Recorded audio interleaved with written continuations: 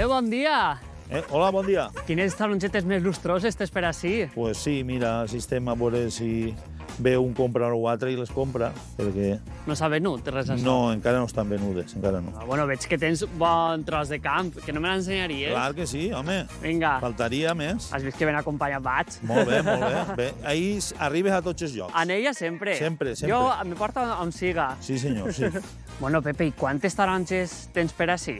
Pues en este camp, més de 40.000 quilos. Això és una bona quantitat, eh? El problema és que estan ja maures i bones per a collir i, bueno, i, i estan per collir. Enguany, la, el, el principi de la campanya pues, ha sigut desastrós. Primer, les importacions de Sud-àfrica. Cada vegada tenim més plagues, que moltes mos venen en les importacions de les taronges que se fan d'altres països. I tot això ha fet que al final se retrase la collita, per dir-ho d'alguna manera, i veurem si fem sort i la recollim antes de que caiga a terra. Pepe, jo no puc estar envoltat d'aquestes taronges tan precioses i en la loreta esta que fa. Jo vaig agafar-te en alguna, eh? Agarra, agarra, sense Que ja sóc problema. un collidor expert, mira. Ah, doncs molt bé, sí, Has sí. vist? Sí, a, a tiró però ben collida, sí senyor, sí senyor. Pepe, i per què és important que, que consumim les taronges així del terreno? Primera, són taronges de casa. Estarem ajudant als llauraors de casa a que puguem subsistir. I entonces jo pense que devem apoyar a l'agricultura nostra mediterrània. Ai, perdona, que m'està cridant per telèfon. A veure. Dime, Bernardo, dime. Pues mira, així estic en els amics de Terra Viva, ensenyant-los un camp de navelines. Ah, pues perfecte, perfecte. Ara, ara, ara li ho dic a Frank, ara li ho dic a Frank i te l'envia cap allí.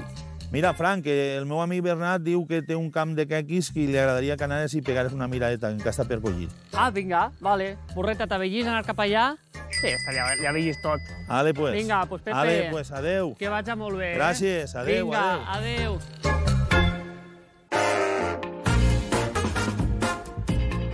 Bernardo, Sí, ja estic així. molt bé.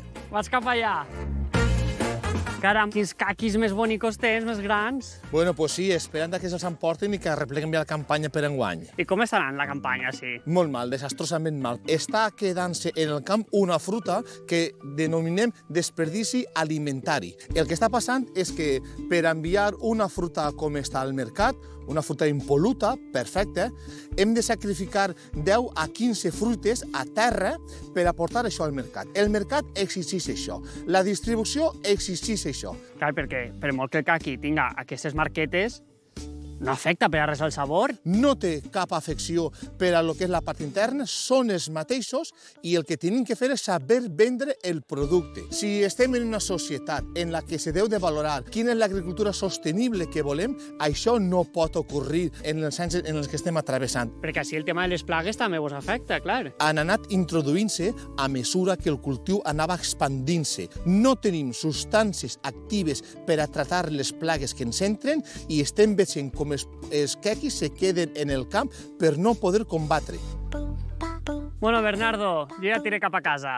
Però abans t'emportaràs esta fruta, una de les frutes més importants que tenim a la comunitat valenciana. Perfecte, Bernardo, com a mi em fa igual que tinguen taqueta que no tinguen, jo m'ho enduc igual, val? I, bueno, Molt com bé. ho faig sense, sense matar-me, Més eh? espai en la bicicleta. Vinga, Au, ole, ja veuràs tu el bat que me pegue. Adéu.